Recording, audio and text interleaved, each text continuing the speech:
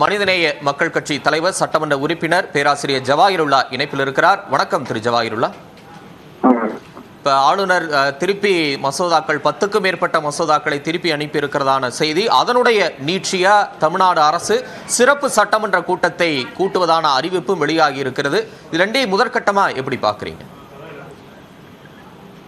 ஆளுநர் அவர்களுக்கு இது வாடிக்கையான ஒரு பணியாக ஆகிவிட்டது. ஏற்கனவே இது போன்ற ஒரு சட்ட முன்வடிவு சட்டமன்றத்தில் ஏற்றப்பட்டு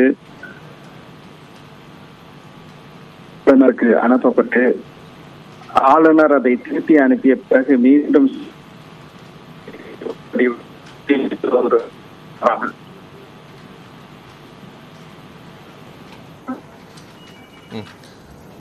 பேராசிரியர் ஜவாஹிருல்லா உங்களுடைய இணைப்பில் சில சிக்கல்கள் இருக்கு. நான் தொடர்ந்து உங்கள் கருத்தை பிறகு நான் வாங்கிக்கிறேன். நன்றி. இணைப்பில் வந்தமைக்கு தொடர்ந்து